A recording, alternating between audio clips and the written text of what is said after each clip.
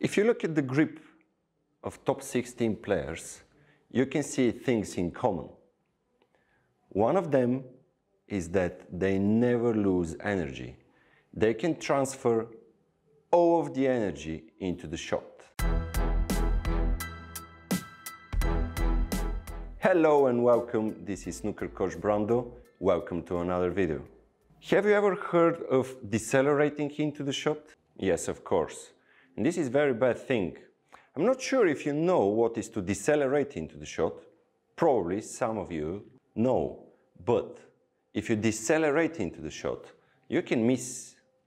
And of course, we don't like to miss. You can decelerate if you slow down the speed of the cue right before you hit the white ball or because of a bad grip.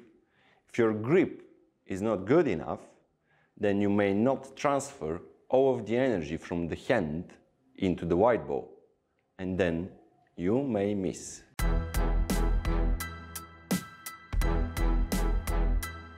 When you're making your delivery, the cue travels with certain speed.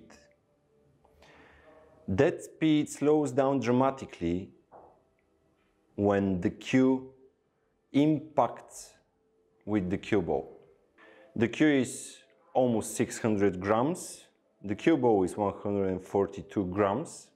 So there are opposite forces which apply onto the cue when you're striking the white ball.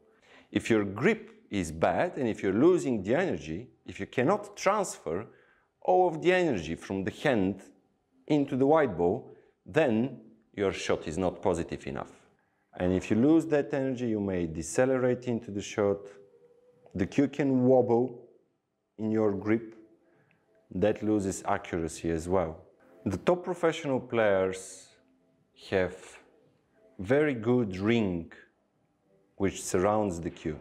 Some of them make the ring with the thumb and the pointing finger and there is absolutely no gap nowhere in that ring that allows them to transfer all of the energy from the hand and the cue into their shot. Some of the players are making the ring with their middle finger, and this is absolutely correct. Ronnie O'Sullivan, Jack Lisowski, Mark Williams, top 16 players are using that kind of grip. They make the ring with their middle finger. Judd Trump keeps his grip very loose. He has little gap, very little gap here in that skin. But at the moment of impact, because he is using lots of wrist, that gap is closed, there is no gap, so he transfers the energy into the shot. Have a look at your grip, see if there is a gap in your ring and try to correct it.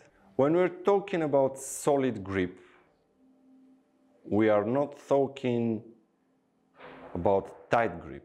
The grip should be loose, but check if there is gap into your ring. I can see some of you are not subscribed to the channel. Please do it. See you next time.